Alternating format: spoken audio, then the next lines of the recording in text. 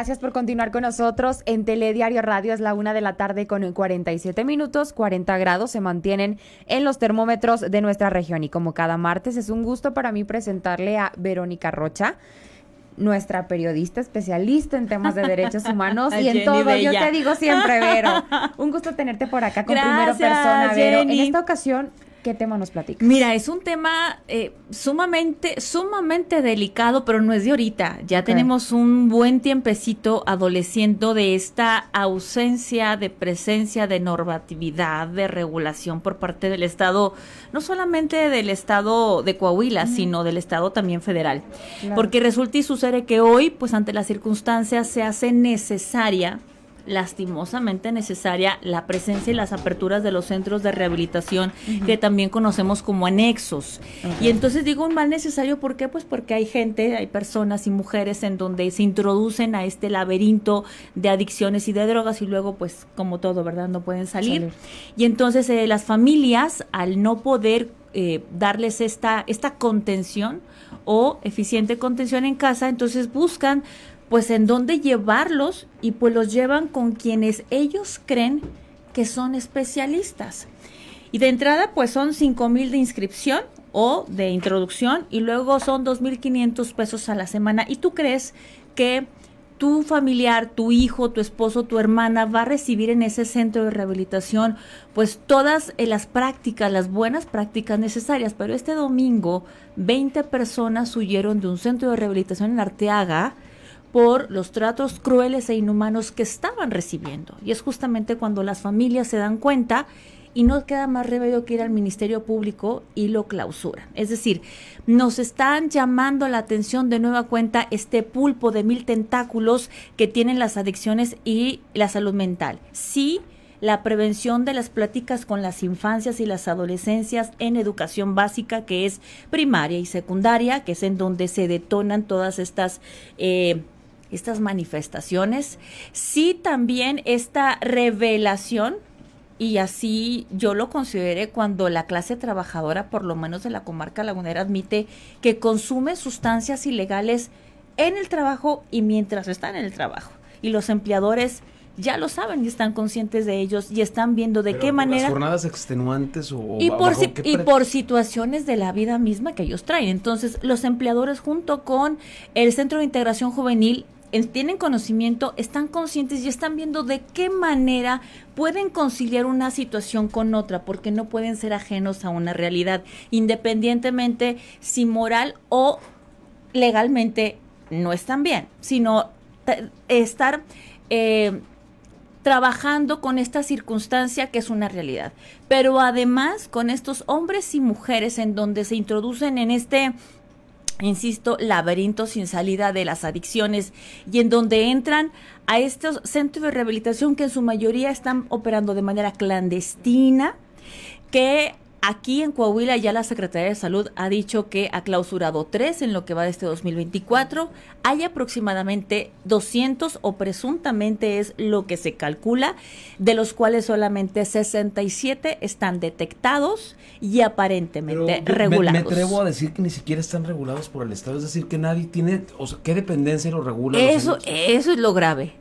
Eso es lo grave, porque se supone que para poder operar, por lo, men, por lo menos, algo sencillo es un, la licencia del municipio del municipio, por lo menos. Y luego tiene que intervenir la Secretaría de Salud para saber qué condición. Exactamente, qué vas a atender.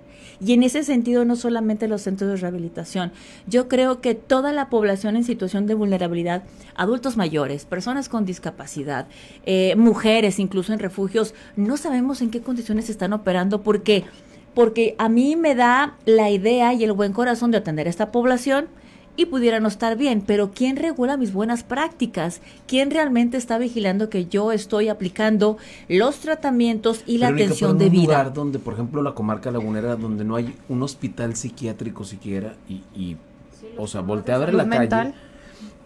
Hay muchas personas en condición de calle que están enfermas, que tienen un padecimiento psiquiátrico, que no tienen a dónde ir cómo atender a esa población. Y entonces se merecen estar en un centro de rehabilitación clandestino en donde les embarraban gel y les prendían fuego.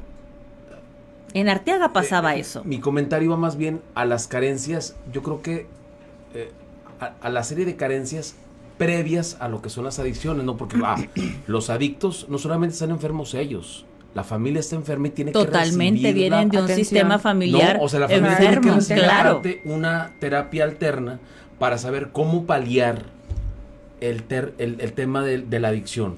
Pero en un lugar donde ni siquiera hay hospitales psiquiátricos, el más cercano que tenemos es el de Parras, que es público, es el de Parras. Es de la Secretaría de Salud. Y el de Monterrey. Y en la comarca de la Unidad no hay ni un solo hospital psiquiátrico. Y vemos a las personas, a, a los este, enfermos mentales en las, las calles. calles. Ahora, son un mal necesario, pero ante la irregularidad se puede cometer una gran, una no, gran gama esto de- no es una irregular, esto es una perversidad. Sí. Porque toda la serie de circunstancias que relatan los internos, el más pequeño tiene 13 años. Y entonces relata que les daban alimento caducado, tomaban agua de la alberca que estaba sucia. eh, esta esta eh, práctica de gel antibacterial y les prendían fuego, obviamente ¿Y con qué abuso. objetivo era, era como Lo que pasa es que cuando ¿Castigos? están, cuando están justamente en este periodo de abstinación, eh, es, es, es recurrente que tengan manifestaciones psicóticas. agresivas. ¿sí?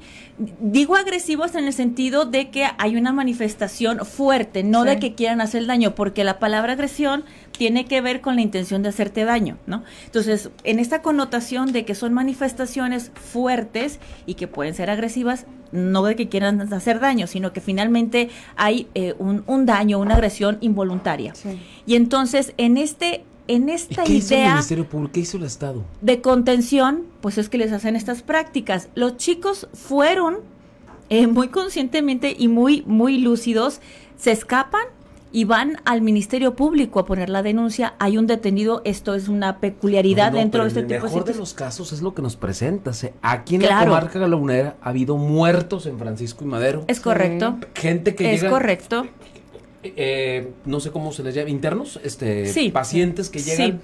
eh, a- a- Agonizando. a- no, no, no, no, llegan en estados Directo de- a la sala de velación, y, y claro. los sacan golpeados. El último fue un caso horrendo que Sí. abusado sexualmente también estaba. Sí, exacto. es Lo abusaron correcto. sexualmente, lo golpearon y, y otra vez la pregunta es quién regula Regula. estos centros de estos anexos. Es correcto. Totalmente tendría que ser el Estado, en este caso el gobierno del Estado de Coahuila, en donde no se puede sustraer a su obligación. Podemos suponer que viene ya de una carga importante de malas prácticas, incluso de burocracia, de, eh, corrupción e impunidad de muchos centros de tiempo atrás. Eso está eh, de antemano. Sin embargo, ante la situación que se presenta este domingo, en donde luego regresan las familias de los otros eh, internos, Internos. para sacarlos, es en donde se dice, bueno, ¿qué vamos a hacer con esta población que, como tú le has dicho, es la única alternativa que tiene para tratarse y que no es gratis, ¿eh? Además, no es nada barata. Entonces yo creo que estamos ante una No, encrucijada son- para el Consejo Estatal de Adicciones porque sí lo hay. Es decir, está perfecto que sigamos con estas pláticas a las infancias y adolescencias en las escuelas, pero ojalá ¿Qué todo fuera con- las pláticas, ¿no? Que todo sí, quedara sí. en las pláticas Porque ya hay una práctica sistemática de, Sí. de adicción y, y creo que es importante atenderlo. Ah, Ceci del Centro de Integración Juvenil aquí viene y cada rato te platica del aumento en el consumo de cristal, de metanfetaminas, en donde cada vez ah, es y hace más cinco pequeños. años, hace cinco años pronosticaba el consumo de eh, cristal Fentanilo. y ahora está pronosticando que en cinco años aquí vamos a tener zombies, gente que consume fentanilo, pero en Estados Unidos, por ejemplo, donde está la mayor concentración de consumidores de fentanilo, la policía tiene elementos para eh, contener a esas personas, les ponen, a- les dan a aspirar una, un polvito para que conectes otra vez y empezar a darles cauce, pero aquí no tenemos ni medicinas en los hospitales. ¿Cómo Exacto. le vas a hacer para...? Exacto, exacto. Yo creo que aquí la invitación y el exhorto, por supuesto, es primero al Estado para que asuma su responsabilidad. Por lo pronto hay una persona detenida y hay elementos que pueden robustecer la carpeta de investigación que el Ministerio Público está obligado a presentarle a la persona juzgadora para que les den sentencia condenatoria. Sí o sí. El dueño está prófugo y yo creo que asumamos toda nuestra responsabilidad, en este caso los medios de comunicación, visibilizando la situación. No podemos hacer otra cosa y de manera muy real y muy veraz de lo que sucedió y lo que sabemos, nada más. Y esto fue lo que sucedió el domingo aquí en Arteaga, en Coahuila. Verónica, gracias como siempre. Gracias, Vero. Buenas tardes, Ve gracias. Rocha los sábados y los domingos en el telediario, eh, fin de semana de 8 a 9 de la mañana y los martes con nosotros en, el... Despiertos y en directo, ¿eh? para que no crea la gente que estamos en, grabado, no, no, para nada. Y ya con el caballero del clima que regresó.